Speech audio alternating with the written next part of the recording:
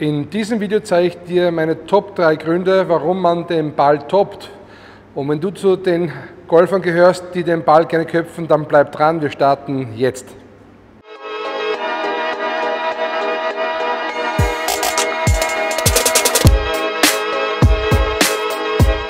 Hallo, mein Name ist Christoph Bausek von Progressive Golf Video. Auf meinem Kanal geht es um Golf und darum, wie du dein Golf verbessern kannst. Und wenn du das erste Mal dabei bist, würde ich mich freuen, wenn du den Kanal eventuell abonnierst, damit du in Zukunft nichts mehr versäumst. Ja, du kennst vielleicht diesen Schlag, wo der Ball flach dahin rollt und sich wirklich nicht gut anfühlt. Wie entsteht dieser Top? Ich habe hier einen Golfball und man sieht hier anhand der schwarzen Schrift den vermeintlichen Äquator. Und immer dann, wenn bei dem Schlag die Führungskante, also die tiefere Kante hier oberhalb des Äquators den Ball trifft, dann spricht man von einem getoppten Ball. Das kann dann natürlich mehrere Gründe haben, die werden wir uns dann gleich jetzt eben genau ansehen. So, und jetzt sprechen wir von den Gründen. Hier sind meine Top 3, warum es passiert, dass man den Ball nicht unterhalb des Äquators trifft, dass man den Ball eben gut trifft. Du siehst hier am Boden eine weiße Linie und diese weiße Linie entspricht die Position des Balles, wo der Ball liegen wird. Und es ist auch so, dass im Treffmoment das wahrscheinlich der Punkt sein wird, wo der Schlägerkopf das erste Mal den Boden berührt.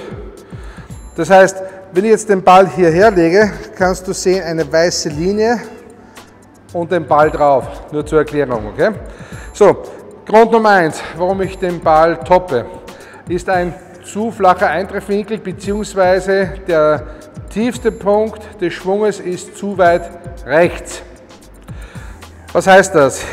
Ich stelle mich hier zum Ball, mache einen Aufschwung und du siehst, der Schlitterkopf kommt hinunter, hat hier bereits seine tiefste Stelle und geht jetzt schon wieder hinauf.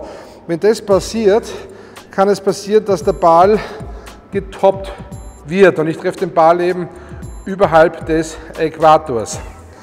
Es gibt viele Gründe dafür, aber einer der Hauptgründe dafür ist, dass man einfach seinen, seinen, seinen, seinen Körper nicht früh genug nach links bekommt, beziehungsweise das Brustbein bei den Eisenschlägen nicht knapp links vom Ball ist. Das heißt, man hängt hier hinten, das Brustbein ist da hinten hier, hinterm Ball und hier hat man dann auch die tiefste Stelle und dann trifft man den Ball in der Aufwärtsbewegung. Ich habe übrigens ein ganzes Video gemacht über den fettgeschlagenen Ball, der sehr, sehr ein ähnliches Konzept hat wie das, was ich dir jetzt erzählt habe. Hier oben findest du eine Infokarte, da kannst du draufklicken und auch dieses Video ansehen. Das ist dasselbe Prinzip. Man bleibt meistens auf der rechten Seite hängen und wenn du einer bist, der abwechselnd den Ball fett schlägt und dann getoppt, dann ist es eben ein Zeichen, dass zu dieser Kategorie von Topper du gehörst. Grund Nummer zwei von den Top 3 Gründen, warum man den Ball toppt, ist, der Radius geht aus oder der Radius fehlt. Was heißt das? Ich habe hier am Start, wenn ich hier beginne, ja, meine Arme hier gest relativ gestreckt. Ich schwinge auf, dann ist auch mein linker Arm relativ gestreckt. Und wenn ich jetzt in die Treffermenzone reinkomme, befindet sich mein linker Arm in einem Streckprozess und eigentlich hier später nach dem Kontakt habe ich wirklich meine Arme am meisten gestreckt.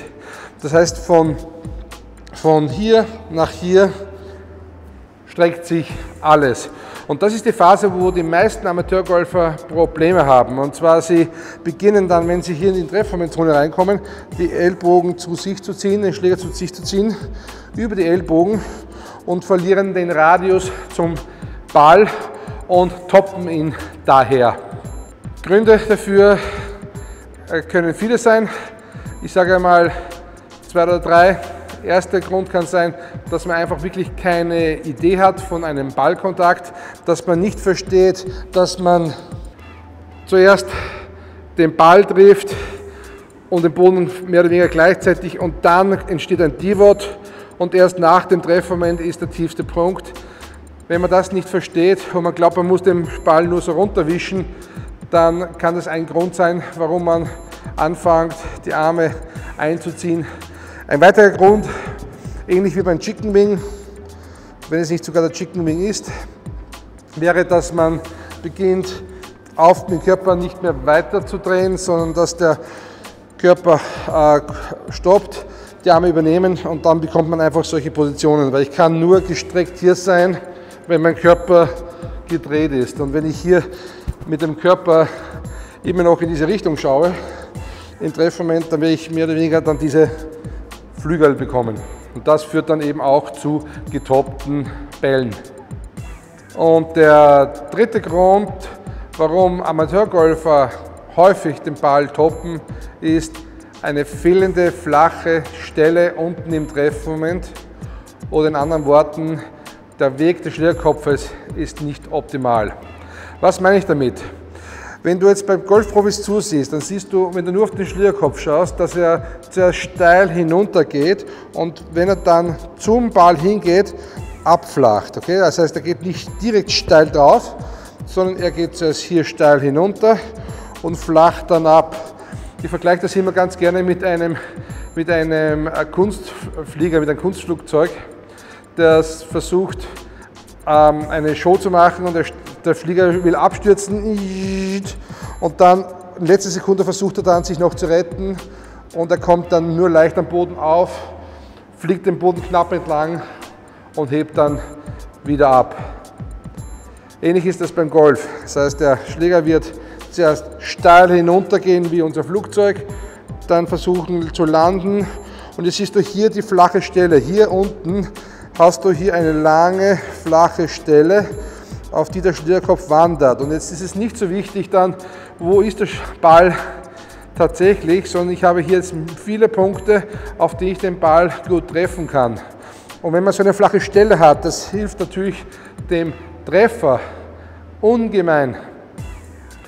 Der Ausdruck äh, kommt eigentlich von einem sehr anerkannten amerikanischen Golflehrer namens Chris Como, der unter dem Biomechaniker Dr. Quan studiert hat. Der das erste Mal den 3D Flat Spot erwähnt, zumindest ist mir das so bekannt. Und der hat eben beschrieben, dass das ein sehr, sehr wichtiges und ein sehr, sehr, ein sehr, sehr essentieller Teil eines guten Golfschwunges ist. Und die Elemente eines sogenannten 3D Flat Spots oder einer flachen Stelle unten ist eben, dass man, dass man genug Schaftneigung nach links hat. Das werde ich nicht schaffen, wenn der Schläger hierher kommt. Da siehst du, geht der Schlägerkopf sofort hinauf. Ich brauche eine Schaftneigung nach links. Ich brauche Arme, die sich im Streck, in der Streckphase sich bewegen. Das heißt, die bewegen sich Richtung Streckung. Wenn ich hier anfange, die Ellbogen hochzuziehen, siehst du, dass die Form des Schlierkopfes wieder eine nach oben beschreibt. Ich brauche auch, drehe ich mich hier rüber, Hände, die nicht zu stark radial sind, das heißt nicht zu stark in diese Richtung gewinkelt sind, sondern mehr Richtung ulnar, also hinunter gewinkelt sind im Treffmoment. Das heißt, man ist hier, hat die Hände hier etwas mehr ulnar und nicht radial. Und ganz wichtig, durch die Körperrotation geht der Handpfad nach links und hinauf. Und wenn ich das kombiniere, bekomme ich hier einen wunderschönen flachen, eine flache Fläche hier unten, einen 3D Flat Spot.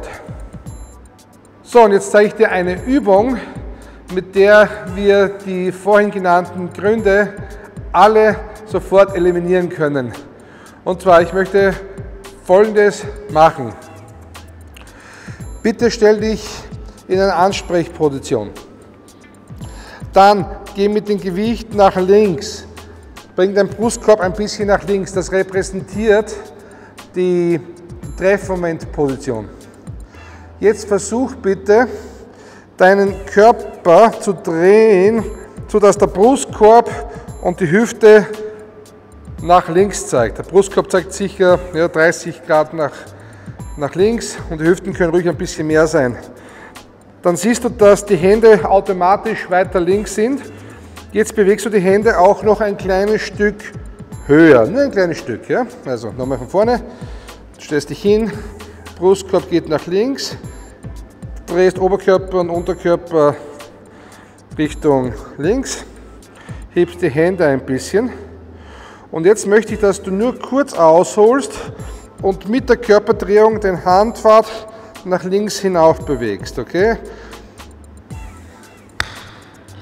Richtig hast du es gemacht, wenn hier am Schluss die Arme komplett gestreckt sind und du den Ball sauber getroffen hast. Der Ball wird natürlich nur ein paar Meter weit gehen, aber diese Übung hilft dir eben sehr stark dabei, ein Gefühl dafür zu bekommen, was ein 3D-Flatspot ist, was es heißt, die, die Arme durch den Treffmoment zu strecken und was es heißt, den Ball nicht fett zu treffen oder den tiefsten Punkt des Schwunges nicht rechts vom Ball zu haben, sondern längs vom Ball. Wenn dir dieses Video gefallen hat, könnte ich mir auch vorstellen, dass auch diese beiden Videos hier unten dir sehr gut gefallen könnten und bitte vergiss nicht meinen Kanal zu abonnieren, damit wir uns in Zukunft nicht mehr versäumen. Das war Christoph Bausig von Progressive Golf. Danke.